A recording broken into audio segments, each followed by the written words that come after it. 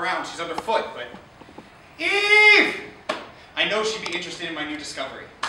I don't know how it happened, but I'm starting to see the world not through my eyes, but through hers.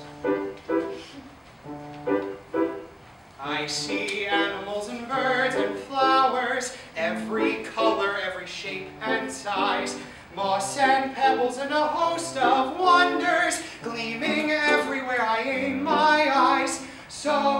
So if ever I'm attacked by boredom, I'll just open up my eyes and see this diversified, curious, fascinating, bountiful, beautiful, beautiful world.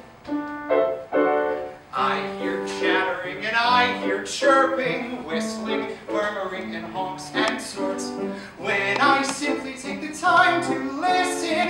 I hear music of a thousand sorts. So if ever I would rest my eyes, my ears can easily describe to me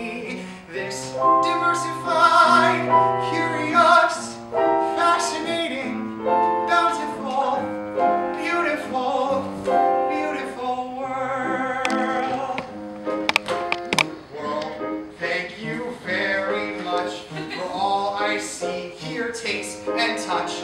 Plus, every whiff I sniff.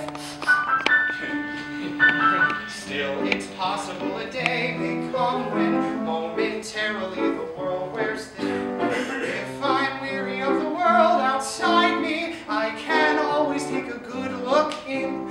For along with every cloud and cobweb, I'm emphatically